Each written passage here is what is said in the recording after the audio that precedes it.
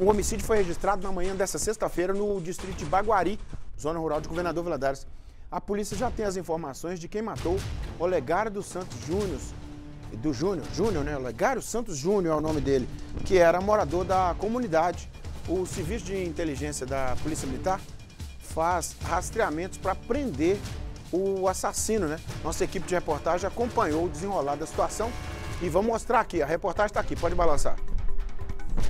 O crime tirou a tranquilidade dos moradores de Baguari, em Governador Valadares. A rua Coronel Roberto Soares, principal via do distrito, foi o endereço do assassinato. Há três anos, o local pacato não registra crime violento.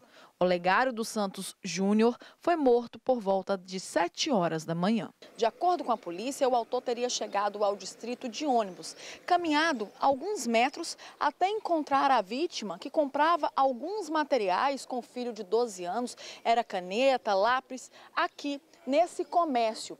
O criminoso chegou, sacou a arma e executou a vítima com tiros na cabeça e bem na frente da criança. Recebemos informações que a vítima tinha entrado no bar né, para fazer uma. É, comprar uma, uma, caneta e um lápis para o filho, e também tomou, é, ingeriu bebida alcoólica e o, o, autor surgiu do outro lado da porta e efetuou disparos de arma de fogo contra a cabeça dele. O filho dele, quando ele, o pai começou a ser atingido, o filho dele correu. Conforme a polícia, a vítima possui uma extensa ficha criminal relacionada ao tráfico de drogas e porte ilegal de arma de fogo.